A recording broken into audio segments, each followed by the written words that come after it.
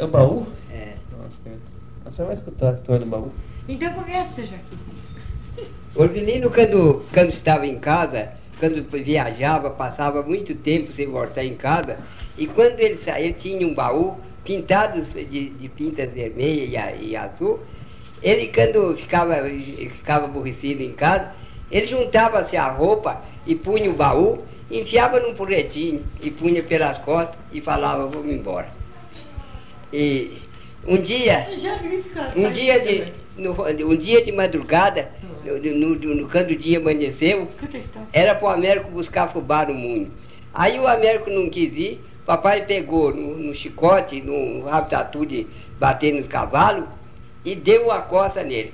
O Orvino foi e falou assim, para de bater no Américo. Papai, para de bater no Américo, senão eu vou me embora. E juntou assim a roupa, pôs no baú, abriu o baú e pôs a roupa e foi, enfiou no porrete e falou que ia embora Botou nas costas. é, vamos embora pro mundo. E é, então, era só qualquer coisa que aborrecia ele, o Orvilino, ele enfiava o baú pintado de vermelho e azul, né, botava a roupa e enfiava no porrete, enfiava e punha na, Nas costas? nas costas. E esse tempo não usava mala, é só o baú, é só O senhor é baú. irmão do seu menino? Só. E, Então continua. E ele tinha um, ele tinha um cavalo bom e um ponche. O ponche, quando ele vestia, tapava, o, tapava o ele e o cavalo e o arreio e tudo. E não podia bater água, não molhava. Eu tava a padaria do cavalo. Eu cantei um versinho esse dia que ela estava ali, não deu aí. É, na, mi- na minha terra lá de flor, na minha terra de flor, todos os prazeres que eu lá tinha, eu lá deixei. Deixei pai e mãe por ti, querida. Tu também pode pensar tua vida, que assim também posso te deixar. E você pode se enlouquecer e acabar com a sua vida. Terminou? É para mim, não de- pro- Então conta outra pra me história. deixar. Então conta outra história. pai. Ah, agora esqueci do, do resto. Faz outra história, Valdir. Outra história. Ah, vou contar uma historinha. Assim. O tempo que eu era criancinha, tinha mala inclinação. Arriscava minha vida para montar em qualquer vagão. Eu, eu, eu entrava lá para dentro, saía com meu lombinho na mão, com tanta dor no coração, caçando minhas esporas. A filha do meu patrão saía lá de dentro, dando uma risada, uma falava para a outra, eu quero ver o jeito do peão. Ora, pois, eu joguei, eu jogava os arreios macho por, por cima da serração, cortava a serração. Eu, quando eu, no macho eu montei, ele marcou saltando para o lado do ladeirão. Ora, pois, meu Deus, vi minha morte adiante dos meus olhos. Mas não saí, fui sair no baixadão, encontrei com meu benzinho. Não pude nem pegar na mão. Boa. O senhor gostei de pegar? É. Então parabéns, o senhor é poeta, você é sobrinho de poeta. Posso? Quando meu avô saiu pro, pro mundo, não. Já Quando? gravou? Já gravou? Hum? Já. Não, pera. Quando ele, ele foi machucado do trem de ferro, trem de ferro, machucou a bomba na mão, né? Os pistos. É. Quando nós estávamos numa. tá- Tinha um fazendeiro chamado por Antônio Fernandes. E desceu uma pedra dentro do rego, da, do- dentro do açude, que a água ia para o munho. E, e, e, e- encavou o rego, a- a- o açude. E na água não pôde ir. Então passa- passava um maquinista, muito amigo do Ervilino. O Ervilino falou, você quer, Antônio? Eu mando o da o maquinista trazer umas bombas de belamite da campanha e os estupim, que eu rebento a pedra e, e vai entrar a Semana Santa. E eu, eu- com, com isso, eu também vou jogar no rio para matar uns peixes. Quando chegou, logo ele mandou buscar a bomba. Quando chegou a bomba, antes de arrebentar a pedra, ele chamou os companheiros e foi para a beira do rio para soltar as bombas para arrebentar, para matar os peixes. Então, quando ele estava chegando, na beira do rio, abaixo de um barranco mais baixo, e com, com os outros cercando os peixes. E vinha, tinha um com, com um bornazinho esparramando o farelo. Quando os peixes chegaram no remanso que, que rodava, ele jogava a bomba, acendia os tupim e jogava a bomba. E um estupim estava tava meio bambo, ele chegou, riscou o fósforo, chegou o, o fósforo no estupim, o fogo caminhou pelo, por dentro do estupim, não, fez, não deu explosão. E se arrebentou, foi um tiro que abalou a terra, abalou o céu e a terra e arrebentou a mão dele. Ah, foi por isso? Foi. E arrebentou a mão dele. E essa hora eu estava chegando a cavalo, estava repassando, tinha deixado os burros no curral e fui repassando um para ver arrebentar as bombas. Quando eu cheguei, que vi ele na beira do barranco, falei, senhor, você vai soltar a bomba já? Ele disse, vou. Falei, então vou retirar para trás que o burro vai espantar. Quando eu vi o baque do tiro no, que fosse no fundo d'água, era um baque choco. Mas aí deu um tiro no, no, no tempo livre que abalou o céu e a terra, a bomba tão forte. E quando eu vi, eu joguei o burro na beira do rio e ele pontou com a mão espedaçada. Aí falou assim, me acorde que eu estou aleijado. Aí eu fui, pulei do burro no chão, sortei o burro, o, cabresto arrastando, e, e, tinha uma, uma linha, uma estrada de ferro. Eu fui atalhando, quebrando capituba, e fui, eu, fui cheguei na beira. O que é capituba? Capituba é capim. As capitubas e rasgando. Quando eu cheguei na beira da, da, da cerca, tinha uma cerca, tinha uma cerca de arame de quatro fios. Peguei um drumento, joguei para cima, em cima da cerca, arrebentou os quatro fios. Aí ele passou, deixei na beira da, da linha e os companheiros foram chegando. Eu corria toda a pressa, puxava, fui, fui em casa. Cheguei lá, tinha três celeiros, três sapateiros trabalhando, que ele também ouvindo, tinha, sapat, tinha sapataria, selaria. E então, eu falei para. A Zezé estava tava esperando para descer, eu chamei a mãe dela e falei, contei, contei o que tinha acontecido. Aí ela foi, ficou muito preocupada, queria saber o que, que era. Eu fui, falei, falei no telefone, chamei o doutor e comprei um vidro de, de iodo e fui de carreira para encontrar, para curar a mão dele. E de fato, ela também acompanhou. Quando nós chegamos numa casa do. Chegamos numa casa no caminho, do, do, do senhor no caminho, ele já estava lá. E botou a mão na bateria de uma bacia, a sangue fervia. Despejou o vidro de iodo. Aí chegou a Zezé e falou, aquela mulher dele, falou assim, se ela não morreu, não tem perigo. Deus tira a mão e abre a goela. É verdade. Mas essa é uma história muito triste. É. Eu não sabia da história da mão dele. Não.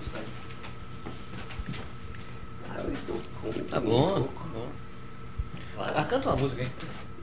Agora canta uma música para alegar, porque a história foi muito triste.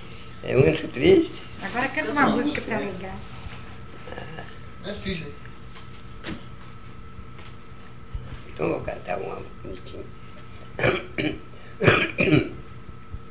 Na minha terra lá de flor, todos os prazeres que eu lá tinha, lá deixei. Deixei pai e mãe por ti, querida. Tu bem pode pensar a tua vida, que assim também posso te deixar. E tu pode, por me deixar, pode se enlouquecer, pode acabar com a tua, pode morrer, pode acabar com a sua vida. E, é, deixa eu ver outra. O tempo que eu, desde o tempo que eu era criancinha, arriscava minha vida para montar em qualquer pagão. Laçava burro bravo, chegava ele no moerão. O macho cavava a terra, levantava a poeira do chão. Eu entrei lá para dentro, saí com meu lumbinho na mão, a filha do meu patrão veio lá dando risada, eu quero ver rolaram é, os negros, as negras, crianças, tudo, ajuntaram multidão, chada, foi se tomaram homem e enrolou no colchão e mandou esconderam ele. Foi levado até sair da cidade para eles não pegarem. É, mas eu esqueci o nome dele. Não você nem Joaquim Carvalho, não, né? Você também sei o nome desse homem. Esqueci. Coisa boba, não sabia. Ah, não lembro mais coisas que nada. Mas a, a doutora, então, para casar com alguém não custou, papai não queria de jeito nenhum. Não queria não? É. Mas por quê? Diz que achava que ele era tonto. Era tudo? É, bebia muito. Ah. Ele não bebia nada, é o jeito dele. É. Depois ele ficou gostando dele. Trabalhador, né? É, muito trabalhador. O rapaz até hoje trabalha, nossa, naquela idade. O que ele faz aparece, né? Ele plantou santuário agora aparece. Uhum. Colheu um tostão de água. É, cedo. Pois é, a senhora falou que não podia vir em casa, porque tá difícil, muito longe, e veio, tá aí. Ela melhorou, melhorou nas costas? Ia Então, que ótimo, melhorou as costas. Não, eu ia- Tem que sair, o negócio vai ficar só fechado no quarto, não pode. Né? fico lá fechado. É. Mas o vento é nada, o vento é bom pra saúde. Fico surda. Fico surda e fico Ou também, também tô com esse negócio na garganta, enroscando, falando. A doença tá, também não é de hoje. Eu tô doente, né? Não é de hoje. Ave Maria, eu vou parar um pouco de remédio para ver se ou melhora ou piora. Não, não piora nada não, mas só melhorar só. Eu bebo muito remédio. Ah, vamos cantar, vamos esquecer de doença agora, chega. Canta Vamos, vamos ter pergunta agora, não? Pergunta uma coisa agora, hein? Hum? Ah, eu sabia que coisa bonita, agora você vai. Só de cinco, ela não sabe o que. É barata que tá comendo eu. Não, cobarde não acontece assim. Barata. Onde Deus eu Ah, essa é Já maior. viu isso? Já? É? Já viu isso? Barata lá Ah, dentro. barato? Tá aqui. Saindo aí as baratas aí. ai, ai. É. Vamos ver assim aí, vó, pra cantar pra nós. Ah, Ouvir. eu vou, eu vou, eu vou estudar primeiro. Todo dia que aquela coisa, então. Aí Os eu. peitos da Coelho do Caminho, não quer? Tem um que fala assim. Ah, é. Senhor, eu reparo desse meu catarro aqui. Meu peito está cerrado da poeira do cara. Daqui, de lá de casa, da esquina lá, como que chama lá aquela rua? Hum? De lá da, da casa do meu pai até aqui na Resende Costa, que é a minha casa, deu pó fazer a garganta pra ficar cerrada. Peito. Pois é. É o pó. É pó fazendo essas coisas. Nem tô falando de peito, né? Ah, é. Que. É, ó. Ô, tio, vem cá conversar com a é? Vem, né? Tá o quê? Lembrar aqueles tempos aqui, vem cá. Lembrar os tempos, aí a senhora ajuda a lembrar aqui, né? Aqui? É é cá, tio. Deixa eu aqui.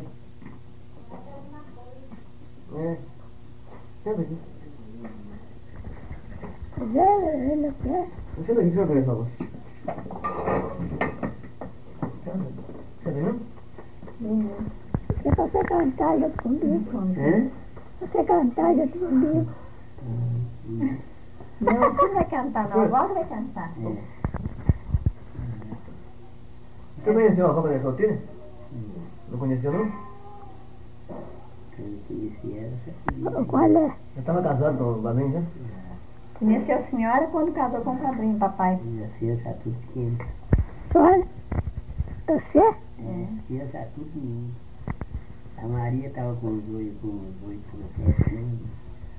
Quando eu conheci, Quando ele conheceu a Maria, estava com sete anos e a senhora já era casada. Tinha ela, tinha nós, tinha quem Mercedes, Francisca, todo mundo. só não tinha Margarida. Só faltava Margarida, Margarida mamãe. Demorou para conhecer. A Margarida, a Margarida nasceu quando eu vim na escola. É verdade mesmo que antigamente, quando a pessoa ia casar, tinha que ter um cavalo, um, uma cabra, ah, um. Poxa, o poxa era uma, um... É como aquele seu, É como Então, se, se o cara, na cabeça do, do, do arreio. então se o cara tinha um, tinha um cavalo, um ponche, ele já estava preparado para o casamento? Já Não mais nada. Já tratava da mulher. Já tava- já estava preparado. já tratava da mulher aí, ó. Mamãe falou. É, Se já tivesse o cavalo bem arriado e o poncho na cabeça dos arreios. é, a mamãe nunca passou a ser um cavalo de Mas o homem tinha o poncho. E o poncho É. E o poxa. Enfiado aqui no pescoço, tapava o cavalo inteiro, podia bater água. É, E molhava arreio, molhava cavalo. não, ele não quer dizer que o menino não tem nada de boniteza. Ele tem é, é, bondade e ele é um homem que não, não, tem preguiça. Não, errado. A senhora mentiu. Sabe a ideia do Bordemar? Disse que papai é o homem mais bonito aqui da cidade de Odoro. Ah, na idade que ele está. Eu estava mentindo. Então você, você é mais bonita porque, Eu sou bonita, sim. porque ele fala. O Jardim quer casar ainda. Tem uma, morena na terça lá que gosta dele. Ah, pois é, você fala. Mas a ideia falou que ele é conservado e bonitão. É, só tá enganado, ele não é mais, ele nem é feio, não. Ele é trabalhador, É, honesto. Tudo. É isso mesmo. Até hoje ele Não, tem sociedade faz vagabunda. casa. Não, não tem nada disso, não. Ele é um herói na idade que ele está, fazer o que ele faz, né? Ah, depois Ele um baú. E quando ele era sorteio, tinha um baú quando ele era rapazinho, uns 17, 18 anos. Ele tinha um baú que ele saiu com o mundo com tais sério, saiu enfiava o baú no porrete, botava a roupa, enfiava no e ficava nas costas. Dava uma volta no mundo, quando ele chegava, ele chegava, guardava o baú e tudo, guardava a roupa.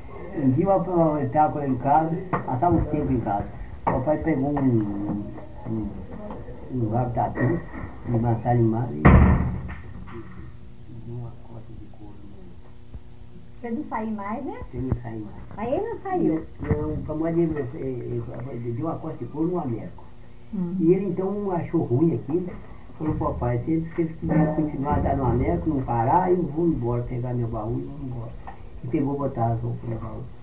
O Américo achou aí, né? Bastante. Aí ele saiu de casa, logo achou a mamãe, casou com ela e ficaram até hoje. Sorte. Beleza. Agora vamos conversar as coisas bonitas pra cantar. A avó vai cantar verso pra mim. O Jardim ajuda. Ô, mamãe, e a, e a Dinha, a avó, morou com a senhora o tempo todo, né? Pra Ela era tão honesta, tão boa. Coitada. E ainda um dia que eu tá, estiver sossegado aí, eu vou, eu vou, eu vou, eu vou, eu gravar um conceito que meu patrão me deu. É um conselho? Grava agora. Conta agora, Conta, grava conta na hora. agora. Conta pra mamãe não dá você. aí. Não, É na língua portuguesa. ah, na língua portuguesa? Não tem. Mas, mas não tem importância, o senhor fala aí brasileiro, sai português aqui, sai, fala português, o senhor é brasileiro, fala português, sai aqui no gravador do mesmo jeitinho, pode falar. É, só que eu vou mudar aqui.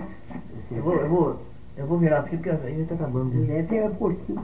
É curtinho, Então- fala, pode falar pra mamãe, sabe? Conta pra ela. chegar, olha, tá bom. Conselho Como é que é? É mesmo difícil do baú, né? É o baú? É. Nossa, certo. Você vai escutar a história do baú? Então começa, Joaquim. O menino, quando, quando estava em casa, quando viajava, passava muito tempo sem voltar em casa, e quando ele saiu, ele tinha um baú pintado de, de pintas vermelhas e, e azul. Ele, quando ficava, ficava aborrecido em casa, ele juntava-se a roupa e punha o baú, enfiava num porretinho e punha pelas costas e falava, vamos embora.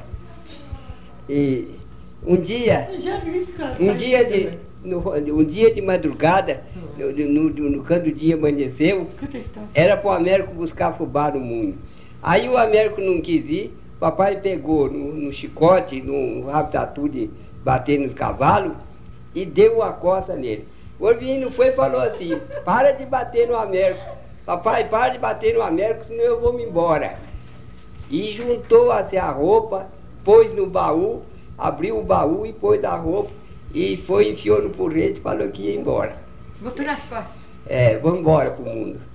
E é, então, era só qualquer coisa que aborrecia ele, o Orvilino, ele enfiava o baú pintado de vermelho e azul, botava a roupa e enfiava no porrete, enfiava e punha na, Nas costas? nas costas. E esse tempo não usava mala, é só o baú. É só O o senhor é baú. irmão do seu menino? Só. E Então continua. ele tinha um, ele tinha um cavalo bom e um ponche.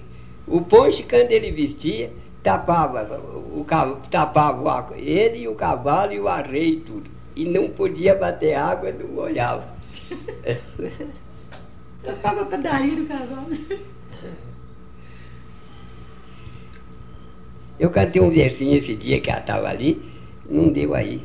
É, na, mi, na minha terra lá de flor, na minha terra de flor, todos os prazeres que eu lá tinha, lá deixei. Deixei pai e mãe por ti, querida. Tu também pode pensar tua vida, que assim também posso te deixar. E você pode se enlouquecer e acabar com a sua vida. Terminou? É para mim não de, Então conta outra me deixar. Então conta outra história, pai. Ah, agora esqueci do, do resto. Qual outra história, Valdir? Outra história. Ah, vou contar uma historinha. assim. O tempo que eu era criancinha tinha mala inclinação. Arriscava minha vida para montar em qualquer vagão. Eu, eu, eu entrava lá para dentro, saía com meu lombinho na mão, com tanta dor no coração, caçando minhas esporas. A filha do meu patrão saía lá de dentro, dando uma risada, uma falava para outra, eu quero ver o jeito do peão. Ora, pois, eu joguei, eu jogava o zagueiro macho por, por cima da serração, cortava a serração. Eu, quando eu, no macho eu montei, ele marcou o satano para o lado do ladeirão. Ora, pois, meu Deus, vi minha morte é diante dos meus olhos. Mas não saí, fui sair no baixadão, encontrei com meu benzinho. Não pude nem pegar na mão. Boa. O senhor fez de pegar? É. Então, parabéns, o senhor é poeta, você é sobrinho de poeta. Posso? Quando meu avô saiu pro, pro mundo, não. Já Quando? Hum? Já. Não, pera. Quando ele, ele foi machucado do trem de ferro, o trem de ferro machucou a bomba na mão, né? Os pichos. É.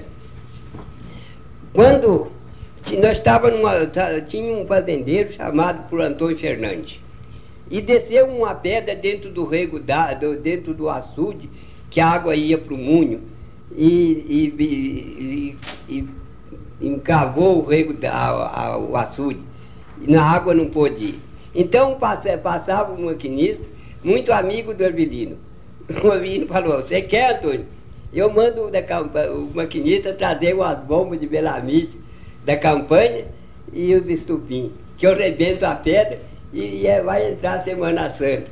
E eu, eu- com, com isso, eu também vou jogar no rio para matar uns peixes. Quando chegou, logo ele mandou buscar a bomba. Quando chegou a bomba, antes de rebentar a pedra, ele chamou os companheiros e foi para a beira do rio para soltar as bombas para arrebentar, para matar os peixes. Então, quando ele estava chegando, na beira do rio, abaixo de um barranco mais baixo, e com, com os outros cercando os peixes. E vinha, tinha um com, com um bornazinho esparramando o farelo. Quando os peixes chegaram no remanso que, que rodava, ele jogava a bomba, acendia os tupim e jogava a bomba. E um estupim estava tava meio bambo, ele chegou, riscou o fósforo, chegou o, o fósforo no estupim, o fogo caminhou pelo, por dentro do estupim, não, fez, não deu explosão. E se arrebentou, foi um tiro que abalou a terra, abalou o céu e a terra e arrebentou a mão dele. Ah, foi por isso? Foi. E arrebentou a mão dele. E essa hora eu estava chegando, a cavalo, estava repassando, tinha deixado os burros no curral e fui repassando um para ver arrebentar as bombas. Quando eu cheguei, que vi ele na beira do barranco, falei, senhor, você vai soltar a bomba já? Ele disse, vou. Falei, então vou retirar para trás que o burro vai espantar. Quando eu vi o baque do tiro no- que fosse no fundo d'água, era um baque choco. Mas aí deu um tiro no, no, no tempo livre que abalou o céu e a terra, a bomba tão forte. E quando eu vi, eu joguei o burro na beira do rio e ele pontou com a mão espedaçada. Aí falou assim, me acorde que eu estou aleijado. Aí eu fui, pulei do burro no chão, sortei o burro, o, ca, o cabresto arrastando, e, e tinha uma, uma linha, uma estrada de ferro. Eu fui atalhando, quebrando capituba, e fui, eu, fui cheguei na O que é beira. capituba? Capituba é capim. As capitubas e rasgando. Quando eu cheguei na beira da, da, da cerca, tinha uma cerca, tinha uma cerca de arame de quatro fios. Peguei um drumento, joguei para cima, em cima da cerca, arrebentou os quatro fios. Aí ele passou, deixei na beira da, da linha e os companheiros foram chegando. Eu corria toda a pressa, puxava, fui, fui em casa. Cheguei lá, tinha três celeiros, três sapateiros trabalhando, que ele também ouvindo, tinha, tinha sapataria, selaria. E então eu cheguei, falei para. A Zezé estava tava esperando para descer, eu chamei a mãe dela e falei, contei, contei o que tinha acontecido. Aí ela foi, ficou muito preocupada, queria saber o que, que era. Eu fui, falei, falei no telefone, chamei o doutor e comprei um vidro de, de iodo e fui de carreira para encontrar, para curar a mão dele. E de fato, ela também acompanhou. Quando nós chegamos numa casa do. Chegamos numa casa no caminho, do, do, do senhor no caminho, ele já estava lá. E botou a mão na bateria de uma bacia, a sangue fervia. Despejou o vidro de iodo. Aí chegou a Zezé e falou, aquela mulher dele, falou assim, se ela não morreu, não tem perigo. Eh, Deus tira a mão e abre a goela. É verdade. Mas essa é uma história muito triste. É. Eu não sabia da história da mão dele. Não. Tá bom, tá bom. Ah, canta uma música aí. Agora canta uma música para alegar, porque a história foi muito triste. É muito triste. Agora canta uma música para alegar. É ficha. Então vou cantar uma bonitinha. Na minha terra lá de flor, todos os prazeres que eu lá tinha, lá deixei. Deixei pai e mãe por ti, querida. Tu bem pode pensar a tua vida, que assim também posso te deixar. E tu pode, por me deixar, pode se enlouquecer, pode acabar com a tua, pode morrer, pode acabar com a sua vida. E, Tiago, é, deixa eu ver outro. O tempo que desde o tempo que eu era criancinha, arriscava minha vida para montar em qualquer pagão. Laçava burro bravo, chegava ele no moerão. O macho cavava a terra, levantava a poeira do chão. Eu entrei lá para dentro, saí com meu lumbinho na mão, a filha do meu patrão veio lá dando risada, eu quero ver